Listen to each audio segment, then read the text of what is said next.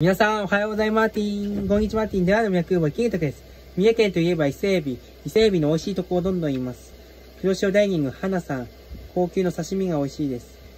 丼、手こな寿司も一緒にある鈴木水産もいいですね。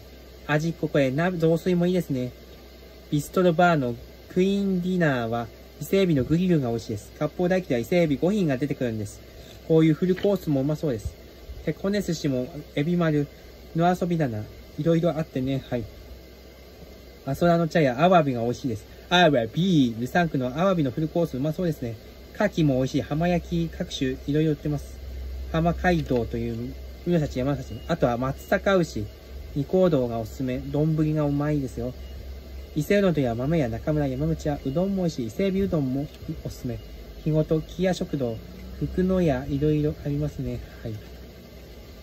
あとは看板ランチもまあいいところですが、まあ、長いのでちょっと省略します。はい。